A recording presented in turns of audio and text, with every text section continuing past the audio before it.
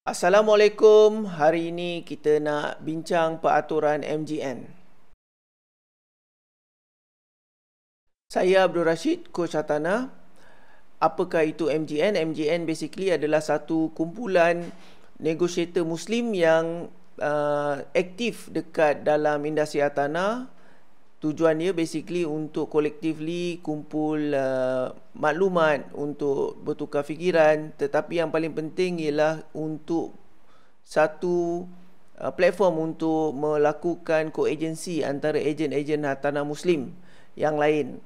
Jadi basically sekiranya kita ada listing dan kita nak listing kita terjual salah satu cara yang paling cepat ialah kita uh, post kita punya listing di MGN dan siapa yang mempunyai buyer mereka akan hubungi kita untuk kita buat viewing. Selalunya ada ejen yang mencari listing yang quality supaya mereka boleh push the listing kepada buyer mereka untuk decide okay? So hari ini kita akan tengok apakah peraturan yang ditentukan oleh MGN sebelum kita boleh post kita punya listing jadi MGN adalah satu badan yang sangat strict dalam hal apa tu peraturan ni sekiranya kita gagal mematuhi peraturan yang telah ditentukan oleh MGN kita berkemungkinan akan diberi uh, penalti ataupun demerit dan juga mungkin disingkirkan daripada kumpulan tersebut lah. Jadi kalau kita disingkirkan daripada MGN maka dua perkara berlaku. Satu, kita akan hilang kita punya uh, source untuk mendapat maklumat yang terkini. Nombor dua, kita menghadapi kepayahan untuk kita nak broadcast kita punya listing pada rakan-rakan uh, negotiator muslim yang lain. Sebab at this moment cuma uh, selain daripada PIHAM uh, which is persatuan uh, negotiator ataupun ejen muslim MGN adalah yang paling besar sekali. Okay so rugi kalau you tidak menggunakan MGN untuk push you punya listing Baiklah, yang pertama kita perlu pastikan apabila kita nak appoint, uh, kita nak buat uh, listing broadcast, kita kena pastikan kita kena ada appointment yang sah. Macam mana kita nak tahu kita punya appointment yang sah? Uh, appointment kita mestilah uh, kita punya apa tu ATS telah design oleh kedua-dua uh, semua pemilik lah eh. Bukan kalau sekiranya ada dua penama suami isteri dan dua-dua kena sign. Kalau sekiranya dia collectively adik-beradik dan semua kena sign. Jadi kalau sekiranya appointment dari uh, unilateral, uh, unilateral uh, berpihak satu kalau sekiranya ada uh, apa tu joint uh, ownership dan appointment tersebut tidak sah maka kita kena dapatkan appointment yang sah dahulu sebelum kita boleh buat posting. Itu yang pertama sekali yang kedua, listing kita kena aktif. Maksudnya kita uh, tempoh appointment kita masih lagi sah. Kalau sekiranya appointment kita dah tak valid, maka kita tidak digalakkan untuk uh, posting dekat MGN. Uh, the reason being kalau sekiranya uh, listing kita tidak sah mungkin lantikan baru dah diberi kepada uh, ejen yang lain yang lantikan especially lantikan eksklusif maka kita hadapi masalah uh, dalam nak menentukan siapakah pemilik listing yang sebenarnya. Jadi uh, semua peraturan-peraturan yang kita buat ni uh, MGN buat basically adalah berdasarkan daripada experience yang lepas untuk mengelakkan sebarang masalah maka MGN mensyaratkan listing yang kita ada tu adalah sah dan masih lagi dalam tempoh.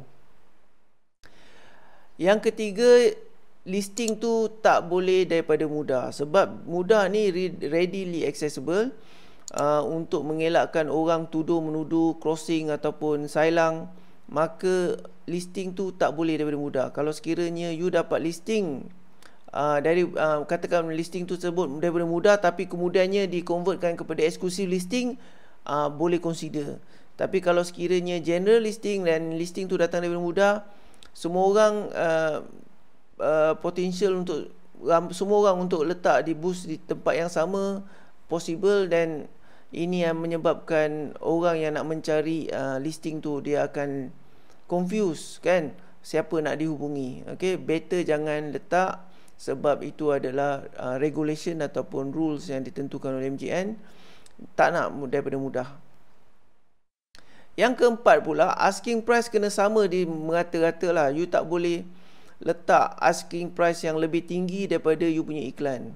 So, uh, to be fair on kita punya negotiator yang lain, kalau sekiranya harganya uh, 400,000, you kena letak 400,000. And if uh, owner dah turunkan harga 380, you is your responsibility untuk beritahu kepada rakan-rakan yang lain bahawa harga dah turun. Ha, eh, kita tak nak uh, sekiranya berlaku uh, saya pun tak nak membuat pasaran ataupun beritahu pada uh, saya punya buyer harga yang lain dengan harga yang you letak yang lebih tinggi. Because uh, buyer pun dia pandai of course. Dia pun uh, kalau dia tengok survey market dia tengok ada yang lebih murah dan you basically uh, apa tu uh, uh, kata sabotage uh, kita punya rakan niaga yang lain untuk uh, men close the deal lah. Okay so basically kalau sekiranya harga yang you dapat ialah harga 400,000 dan you letak 400,000 jangan letak uh, you letak lebih tinggi supaya you yang terjual unit tu and uh, basically itu adalah um, apa tu uh, praktis yang tak baik. Okay? Seterusnya bila kita post kita punya listing tu make sure dia di, di jenis dan kawasan yang telah ditetapkan. Kalau sekiranya dia adalah resident, resident res, most of it residential tapi kalau sekiranya tanah dan industrial you kena letak dekat tanah dan industrial punya group. And kalau sekiranya residential then you kena follow the kawasan. Kalau ceras, ceras. Kalau selayang, selayang. You tak boleh letak listing ceras you dekat dalam grup selayang because kalau you buat macam tu nanti you kena demerit okay? Make sure because ini adalah uh, satu yang telah orang kata really really diambil perhatian lah eh, oleh admin yang menjaga kawasan tu. Uh, you kena balas PM dengan secepat mungkin. So kat sini uh, basically kalau ada rakan you if you know as you know lah kadang-kadang bila kita buat bukan kadang-kadang most of the time bila kita buat uh, hartanah ni kita ada requirement yang cepat especially kalau sekiranya ada buyer yang really yang kata uh, hubungi kita and dia really uh, ready untuk membuat all the booking dan sebagainya maka sekiranya kawan kita hantar PM then you have to balas cepat mungkin lah ha? kalau yes kalau ada ada kalau tak ada you just simply cakap no longer available So uh, so that kita orang kata orang yang mencari listing tu dia boleh move on cari tempat lain. Uh, ikut format yang telah ditentukan ini format yang saya buat ni berdasarkan apa yang saya rasa memudahkan. Uh, uh, jangan panjang-panjang sangat format tu. Ini saya dapati dekat MJN pun kadang-kadang uh, terlalu panjang. So uh, dia tak really uh, stick to apa tu the simple punya uh, format menyebabkan kadang-kadang satu listing tu panjang sampai you have to scroll dua kali kan? Uh, so uh, kalau gambar kalau boleh buat collage satu gambar aja boleh tengok the overall general uh, idea. So the reason orang letak listing dekat uh, antara uh, perundingan tanah ni perundingan tanah basically dia dah tahu dah dekat kawasan tu. Kalau dia cari kawasan selayang dia dah tahu dah kawasan selayang. So basically cara kita approach kita basically kepada uh, fellow agent bukan kepada buyer kalau you nak buat uh, write up kepada uh, buyer different approach you so basically seorang uh, perundingan tanah dia mahukan information yang cepat sebab kadang-kadang dia kena go through banyak listing kan uh, so letak yang important saja. Kalau dia berminat dia akan PM kita, okey. So ringkasan listing untuk yang uh, listing yang pertama tu uh, bukan listing yang pertama, baris yang pertama tu kalau boleh biar ada all this. Uh, apa tujuan dia? Kawasan, jenis dan asking price. Lepas tu the next subsequent one baru letak description.